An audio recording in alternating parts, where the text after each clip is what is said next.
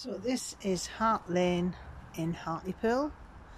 So as you can see at the front, we've got a nice porch on the front of the property and parking spaces right outside the door.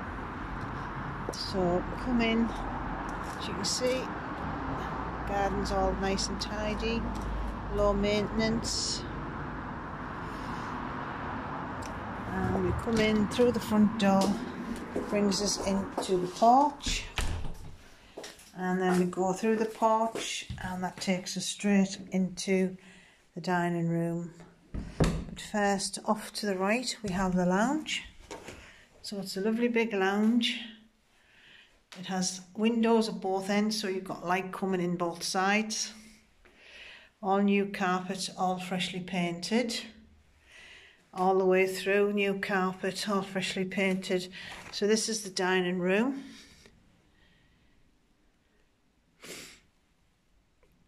And it's quite big enough for a table and chairs to be tucked on this side. So you still have a walkway through. And then obviously you've got your kitchen here. So it goes, it's like an L shape and then we go down this side. So you've got lots of units down this side. Units all the way around. And then we come out into the back garden again. Nice low maintenance. All secure nice high wall all the way around. So we come back in and we come back through and go through the kitchen back through the dining room and we go up the stairs where we have three bedrooms and a family bathroom upstairs. So we've got two bedrooms at the front, one at the back.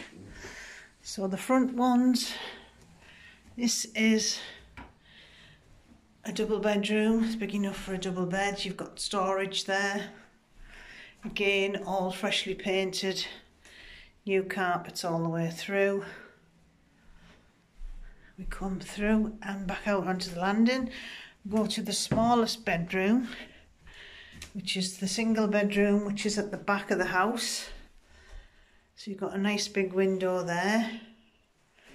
As you can see, lets lots of light and sunlight in. and then we go across the landing and we go to the other bedroom on the other side of the staircase. Again this is a double bedroom as well. Probably king size bed you could get in here as well. And then we go into the bathroom.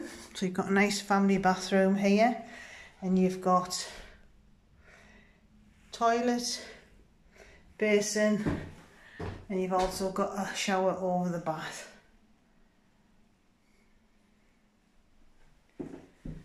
And then we come back out and then that takes us back down into the hallway.